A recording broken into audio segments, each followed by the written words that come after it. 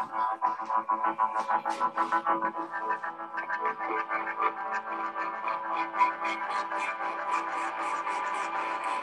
you.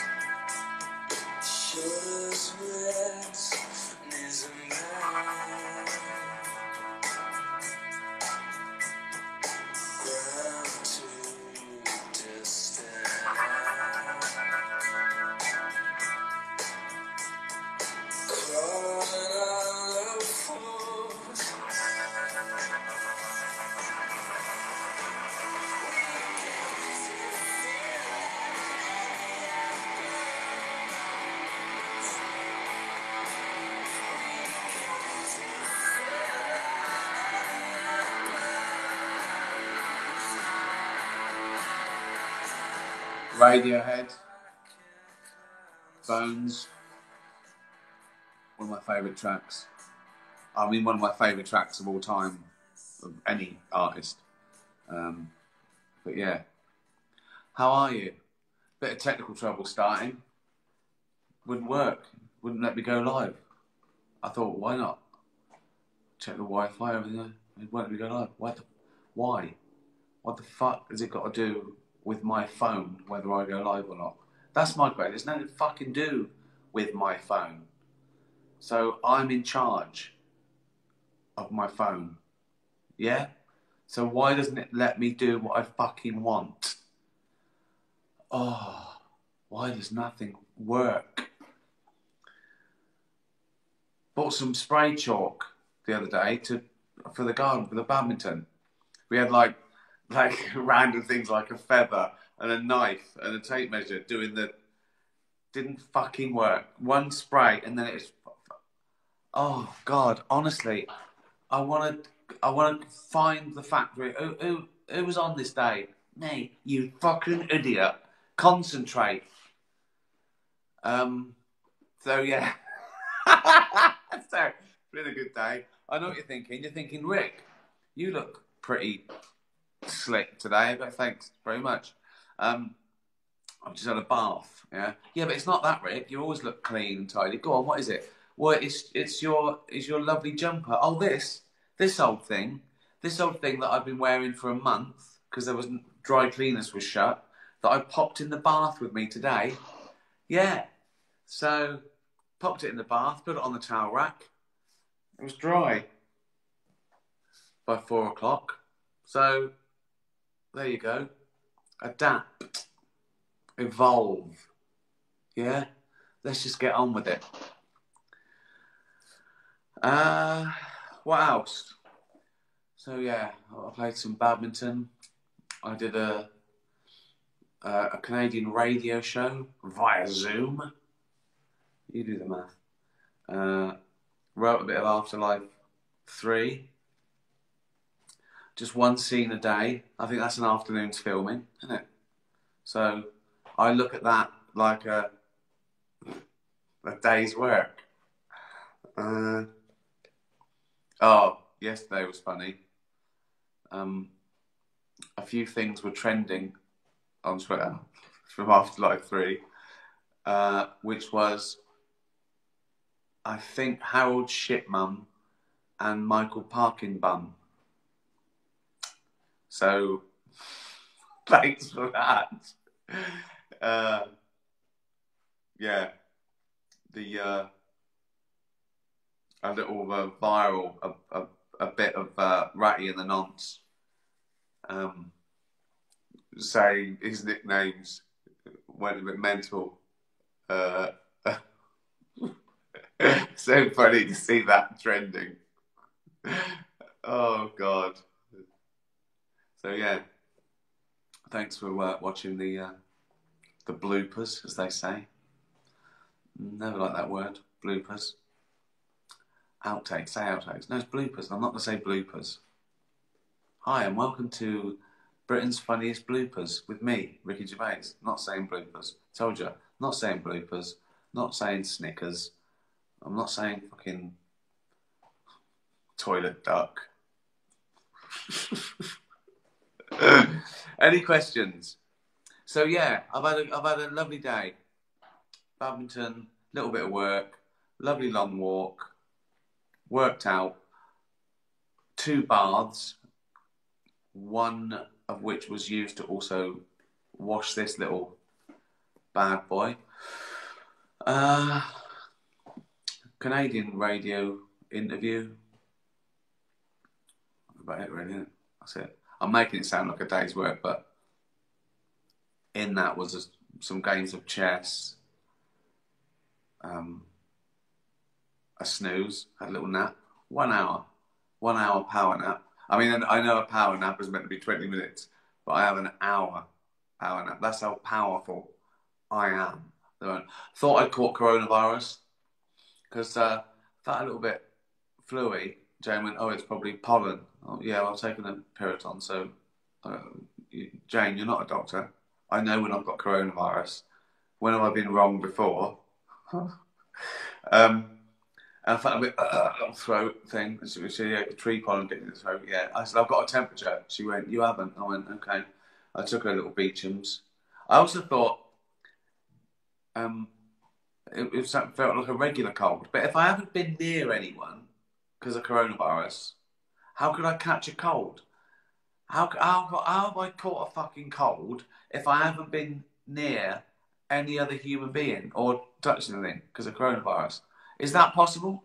Could I just have a cold? Where would that come from? Where's the cold come from? Fuck's sake. Oh, could it be an allergic reaction to something that feels like, oh, who cares? I don't give a fuck anymore. Ah. Oh, Quimby Savile, that was the other one, wasn't it? Yeah, Quimby Savile. Um, what does that mean to people around the world? Quimby Savile. They won't know. Have I heard of Jimmy Savile? Did he? I don't think he. I don't. I don't think he was big outside Britain. Oh God. Fuck you now. Michael Parkinbum as well. What does that? That just that sounds inane, doesn't it? But any Americans? Well, do you know what? Why? Why Quimby Savile and Michael Parkinbum is funny? No. Um, and I don't blame you because we should know better because we're grown adults laughing at silly names. Allergia, allergia. What's that? Is that is that like a? Could it be allergy? Yeah. Okay tired. Yeah, it's that I've got that thing that like the, the tired eyes and a little bit, a little bit tickly throat. Basically, is there a doctor? Right? Is there a doctor online? Be be honest. Uh, I, yeah, but why is hay fever sometimes cutting through? I take a Piriton every day, even through the winter, in case, because it's, sometimes it's stronger. Is it?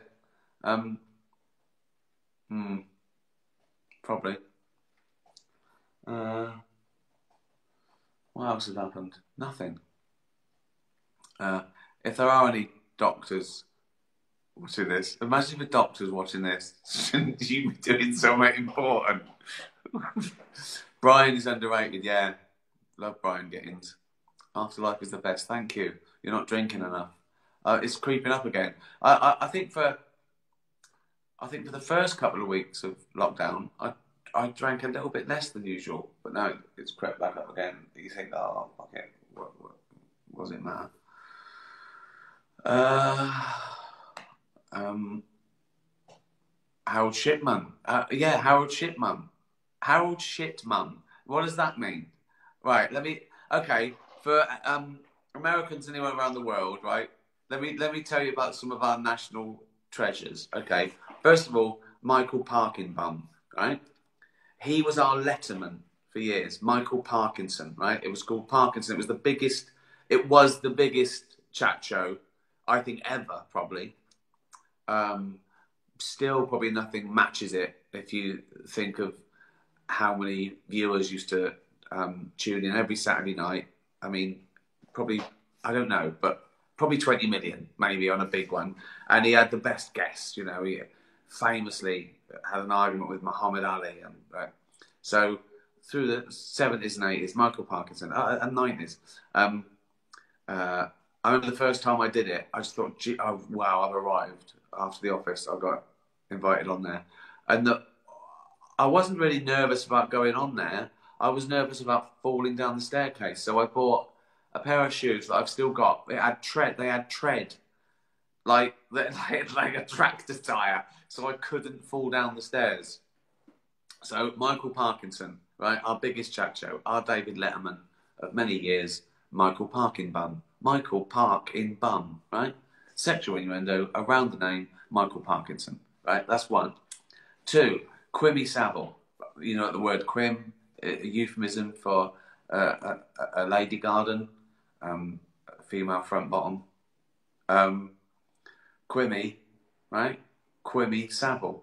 Now, Jimmy Savile. Jimmy Savile was again one of our most famous people through the the seventies and eighties and nineties. Um, uh, he was a DJ, a Radio One DJ, uh, and uh, he had his own show, Jim'll Fix It, where he invited kids on to, you know, fulfill their dreams. And um, it was massive. He did a lot for, lot for charity. He'd do, he'd do, um, he'd do like marathons. Go go to his hospital, and there was it help the kids. And then when he died, everyone found out why, um, because he was Britain's most prolific um, psychopathic paedophile. I mean, off the charts. The most hated man in Britain after, and, and everyone was frustrated. And uh, I can't, I can't. I mean, if you Americans, if you haven't heard of it, if you saw a picture of him now, you would go, "Well, of course he was a paedophile. How could you not know?" Um, some people did, apparently. Uh, but anyway, that's so Michael Parkinbum, Quimmy Savile, uh, what was the other one? Harold Shitman. Right.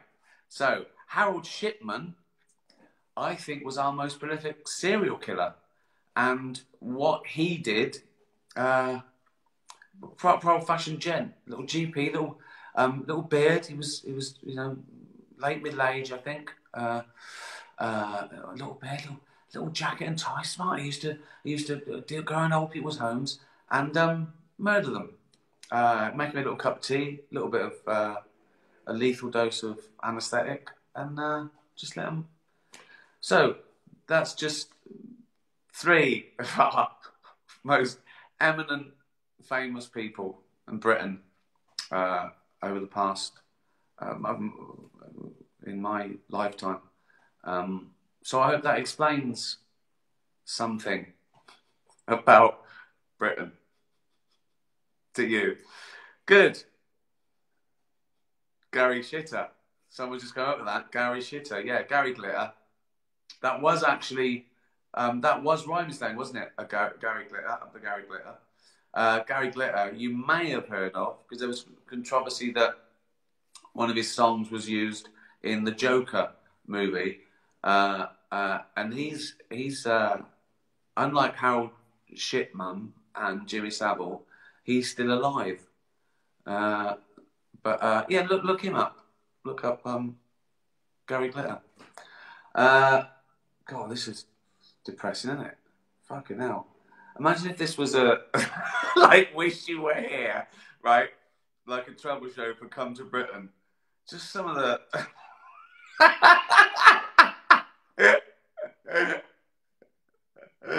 oh God. So there you go. Um, how long's that? Well, I've wasted all the time uh, talking about uh, Britain's worst people. oh God. Well, um, hope you're well. Uh, thanks for watching the outtakes and joining in and getting those things trending. Um, thanks for watching Afterlife. I've noticed that some people are watching the first series. Uh, some people are watching it again before they watch the second to remind them. But some people are watching it for the first time because they've seen all the stuff about the uh, the second series and uh, they hadn't got around to it. I do see this a lot as well, um, which is I quite like it. I think it's flattering, but I see people on Twitter. They send me things like, "I've never been a fan, right? But I love Afterlife," and and uh, things like, "I thought you were awful, um, but I love Afterlife," and things like, uh, "I hate Ricky Gervais, but Afterlife is really good." So um, thanks. Cheers, everyone. Stay safe.